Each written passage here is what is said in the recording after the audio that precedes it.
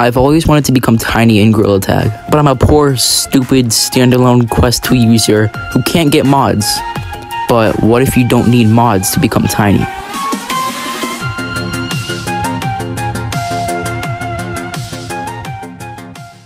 See that spot right there? Yeah, well, I need to die there. So basically, if the monster catches up to you, you fall through the floor. And I need to fall through the floor here because if I do, then I'll fall into the cage. And well, this was way harder than it should have been. no, it's over. All right, I gotta redo it. I gotta redo it. I gotta read. It's here, right? It's here. It's here. Yep, yep, yep.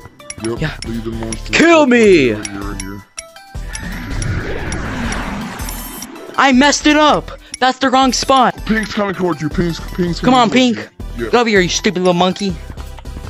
Come on. Monkey Come on, Pink. like, Let's go. 17 million eyes. First monkey to ever do this. Never been done before, even though it's gonna get like two views, but that's okay. Please. Yeah. Please, Pink. How big? Please, bro. Please, please, please. I'm in a dungeon. I'm in it. I'm in it. I'm in it. I'm in it. I'm in it. I did it. I did it. I did it. No way. Yes, yes, yes, yes. Oh my god. Place. Wait, I'm tiny. Dude, AK, AK, AK. Look, look at me. Oh my. It, it worked. It, worked. It worked. It worked. Bro, bro. Oh my god. Oh my god. Hang on. Jesus. This is insane. No mods, no nothing.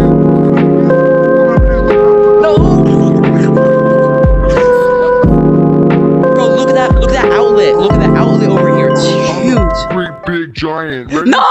Oh, everyone subscribe to AKA GT right now. He helped me with this. He's very cool. I'm gonna stop recording now.